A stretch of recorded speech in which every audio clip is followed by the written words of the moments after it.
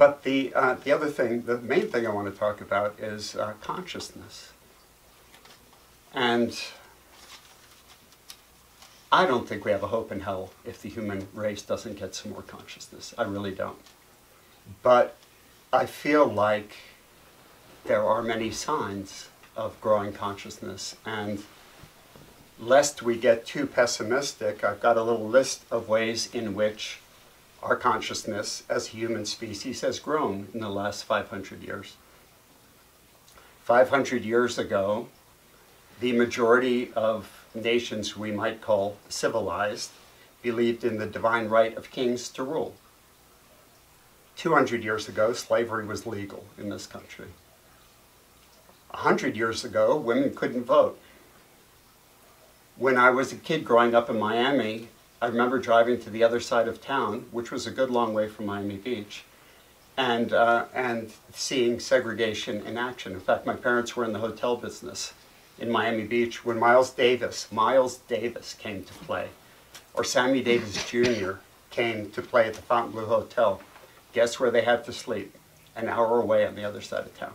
Mm. So segregation in my lifetime, in my lifetime I saw it. Um, there was no ecological movement when I was born to speak of. There was no women's movement to speak of. Um, in the 1970s, we stopped a war, Vietnam War. That's never been done before, or since maybe. But uh, but uh, but there was before the Vietnam War. Who pro, who you know were protesters marching around uh, when Napoleon invaded the rest of Europe? You know, holding signs. You know yeah. No war with Europe. You know, we, we, things have come a long way. um, there's the famous Martin Luther King quote, the, uh, which I'm probably going to get wrong, but it's something like, uh, the arc of, of change is long, but it bends towards justice, something like that, which is quite a thing for an uh, African-American man who grew up in his times to say. So, um, but as far as growing consciousness, we're practicing the best tools the human race has for growing consciousness. I, I don't know another tool other than meditation, mindfulness, zazen, another set of tools that have been developed precisely for that purpose. They're certainly the best ones we have for that purpose, and they've been 2,500 years in development. Now, I do believe, this can't be proven, but I believe that every person who realizes something adds to the collective realization of the human race. I believe intention matters. I believe that sending positive energy and love to the planet matters. I believe that doing metta for, and compassion practice. All these things matter. You know, um, I also think that um, that remembering Bernie Glassman's um, work and his his formula for approaching change consciously um, begins with not knowing. Well, I think we're all good at that. we don't we don't know what to do really, do we? But uh, but that kind of not knowing also means open-mindedness. It means we never dis- we that goes for our lives. It goes for our sangha. It goes for the center we live in. We don't know what's coming next. Um,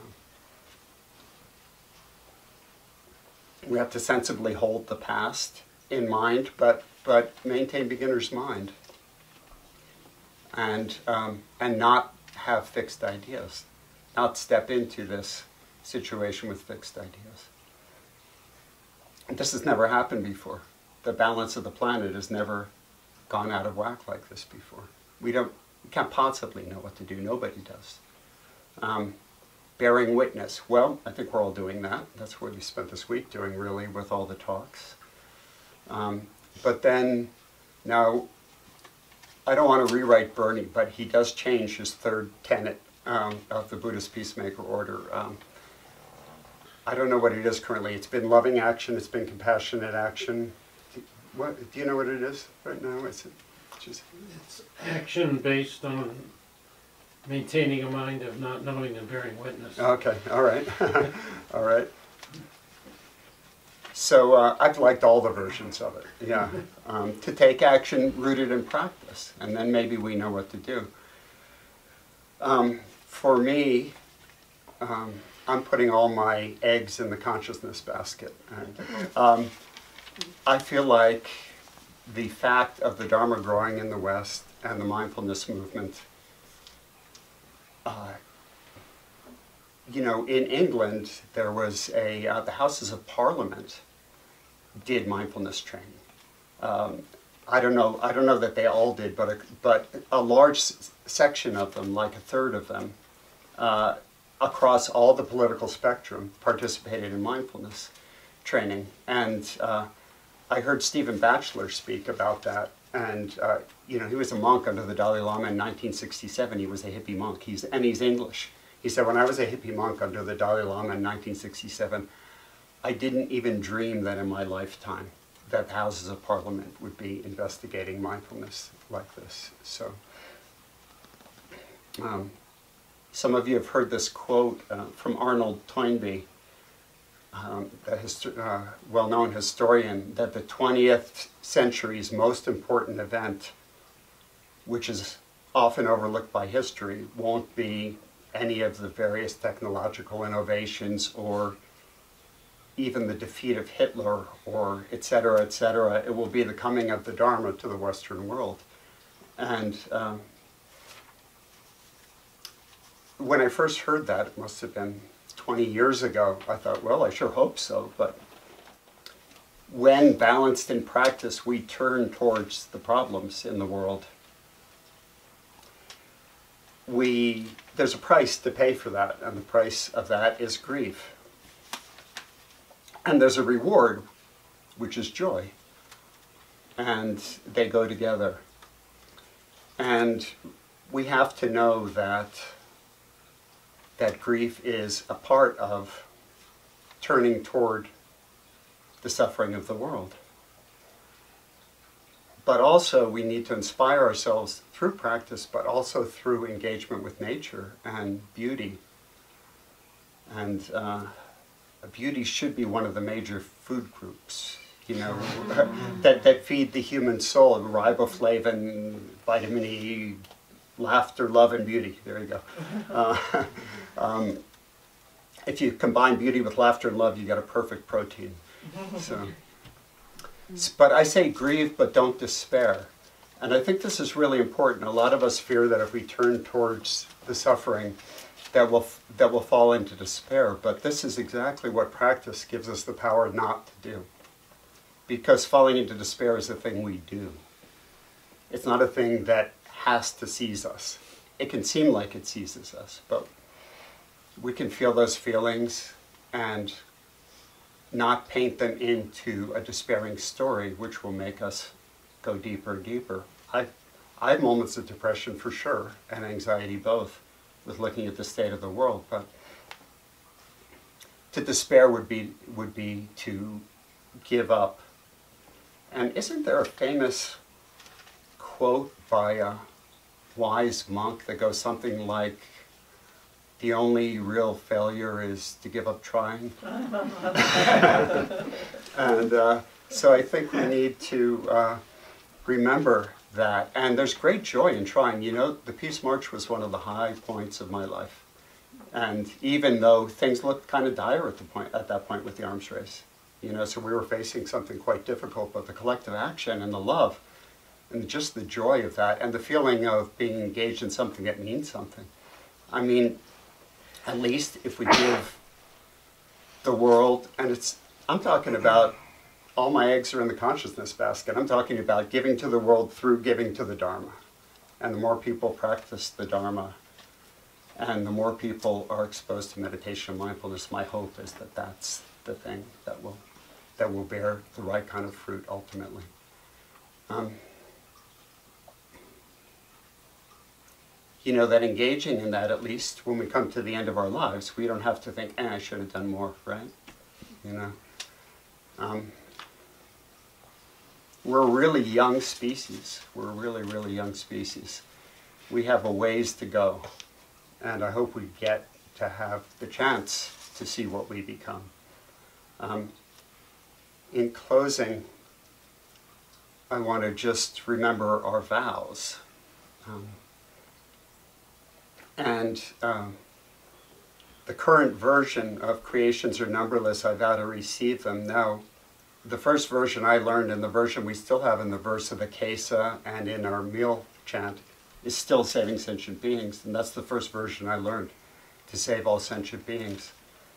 And I think just about every place I've practiced has revised that because it sounded born again, salvational, Christianal, you know.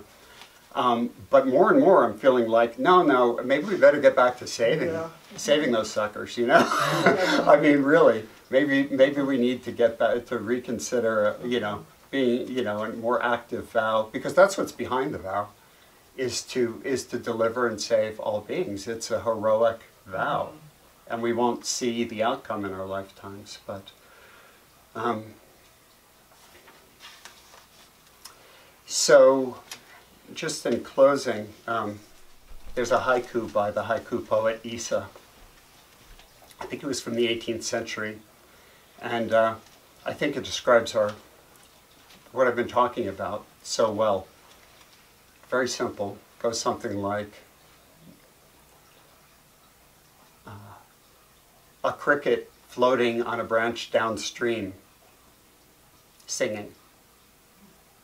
Of course, the right number of syllables, what we call the right number of syllables, 17, doesn't translate from the Japanese, but floating on a branch downstream, a cricket singing. So, uh, and I just love that image because, hey, we may feel like we're going on the branch downstream, but let's not forget to sing, right?